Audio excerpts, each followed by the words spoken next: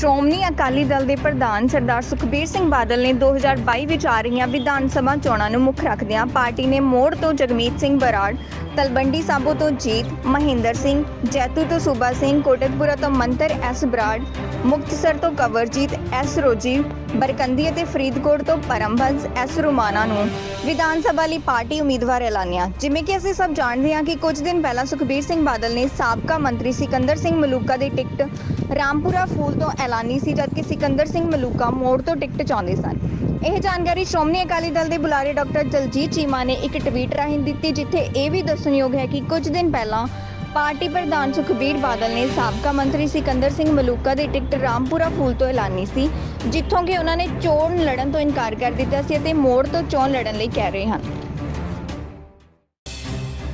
ਸ਼੍ਰੋਮਣੀ ਅਕਾਲੀ ਦਲ ਦੇ ਪ੍ਰਧਾਨ ਸਰਦਾਰ ਸੁਖਬੀਰ ਸਿੰਘ ਬਾਦਲ ਨੇ 2022 ਵਿੱਚ ਆ ਰਹੀਆਂ ਵਿਧਾਨ ਸਭਾ ਚੋਣਾਂ ਨੂੰ ਮੁੱਖ ਰੱਖਦਿਆਂ ਪਾਰਟੀ ਨੇ ਮੋੜ ਤੋਂ ਜਗਮੀਤ ਸਿੰਘ ਬਰਾੜ ਤਲਬੰਡੀ ਸਾਬੋ ਤੋਂ ਜੀਤ, ਮਹਿੰਦਰ ਸਿੰਘ, ਜੈਤੂ ਤੋਂ ਸੂਬਾ ਸਿੰਘ, ਕੋਟਕਪੁਰਾ ਤੋਂ ਮੰਤਰ ਐਸ ਬਰਾੜ, ਮੁਕਤਸਰ ਤੋਂ ਕਵਰਜੀਤ ਐਸ ਰੋਜੀ ਬਰਕੰਦੀ ਅਤੇ ਫਰੀਦਕੋਟ ਤੋਂ ਪਰਮਬੰਸ ਐਸ ਰੁਮਾਨਾ ਨੂੰ ਵਿਧਾਨ ਸਭਾ ਲਈ ਪਾਰਟੀ ਉਮੀਦਵਾਰ ਐਲਾਨਿਆ। ਜਿਵੇਂ ਕਿ ਅਸੀਂ ਸਭ ਜਾਣਦੇ ਹਾਂ ਕਿ ਕੁਝ ਦਿਨ ਪਹਿਲਾਂ ਸੁਖਬੀਰ ਸਿੰਘ ਬਾਦਲ ਨੇ ਸਾਬਕਾ ਮੰਤਰੀ ਸਿਕੰਦਰ ਸਿੰਘ ਮਲੂਕਾ ਦੀ ਟਿਕਟ ਰਾਮਪੁਰਾ ਫੂਲ ਤੋਂ ਐਲਾਨੀ ਸੀ, ਜਦਕਿ ਸਿਕੰਦਰ ਸਿੰਘ ਮਲੂਕਾ ਮੋੜ ਤੋਂ ਟਿਕਟ ਚਾਹੁੰਦੇ ਸਨ। ਇਹ ਜਾਣਕਾਰੀ ਸ਼੍ਰੋਮਣੀ ਅਕਾਲੀ ਦਲ ਦੇ ਬੁਲਾਰੇ ਡਾਕਟਰ ਦਲਜੀਤ ਚੀਮਾ ਨੇ ਇੱਕ ਟਵੀਟ ਰਾਹੀਂ ਦਿੱਤੀ, ਜਿੱਥੇ ਇਹ ਵੀ ਦੱਸਣਯੋਗ ਹੈ ਕਿ ਕੁਝ ਦਿਨ ਪਹਿਲਾਂ ਪਾਰਟੀ ਪ੍ਰਧਾਨ ਸੁਖਬੀਰ ਬਾਦਲ ਨੇ ਸਾਬਕਾ ਮੰਤਰੀ ਸਿਕੰਦਰ ਸਿੰਘ ਮਲੂਕਾ ਦੀ ਟਿਕਟ ਰਾਮਪੁਰਾ ਫੂਲ ਤੋਂ ਐਲਾਨੀ ਸੀ, ਜਿੱਥੋਂ ਕਿ ਉਹਨਾਂ ਨੇ ਚੋਣ ਲੜਨ ਤੋਂ ਇਨਕਾਰ ਕਰ ਦਿੱਤਾ ਸੀ ਅਤੇ ਮੋੜ ਤੋਂ ਚੋਣ ਲੜਨ ਲਈ ਕਹਿ ਰਹੇ ਹਨ।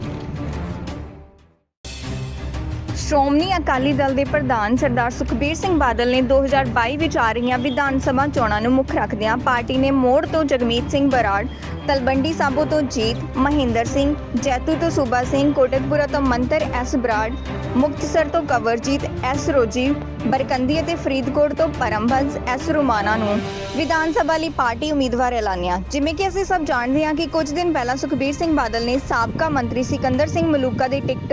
ਰਾਮਪੁਰਾ ਫੂਲ ਤੋਂ ਐਲਾਨੀ ਸੀ, ਜਦਕਿ ਸਿਕੰਦਰ ਸਿੰਘ ਮਲੂਕਾ ਮੋੜ ਤੋਂ ਟਿਕਟ ਚਾਹੁੰਦੇ ਸਨ। ਇਹ ਜਾਣਕਾਰੀ ਸ਼੍ਰੋਮਣੀ ਅਕਾਲੀ ਦਲ ਦੇ ਬੁਲਾਰੇ ਡਾਕਟਰ ਦਲਜੀਤ ਚੀਮਾ ਨੇ ਇੱਕ ਟਵੀਟ ਰਾਹੀਂ ਦਿੱਤੀ, ਜਿੱਥੇ ਇਹ ਵੀ ਦੱਸਣਯੋਗ ਹੈ ਕਿ ਕੁਝ ਦਿਨ ਪਹਿਲਾਂ ਪਾਰਟੀ ਪ੍ਰਧਾਨ ਸੁਖਬੀਰ ਬਾਦਲ ਨੇ ਸਾਬਕਾ ਮੰਤਰੀ ਸਿਕੰਦਰ ਸਿੰਘ ਮਲੂਕਾ ਦੀ ਟਿਕਟ ਰਾਮਪੁਰਾ ਫੂਲ ਤੋਂ ਐਲਾਨੀ ਸੀ, ਜਿੱਥੋਂ ਕਿ ਉਹਨਾਂ ਨੇ ਚੋਣ ਲੜਨ ਤੋਂ ਇਨਕਾਰ ਕਰ ਦਿੱਤਾ ਸੀ ਅਤੇ ਮੋੜ ਤੋਂ ਚੋਣ ਲੜਨ ਲਈ ਕਹਿ ਰਹੇ ਹਨ।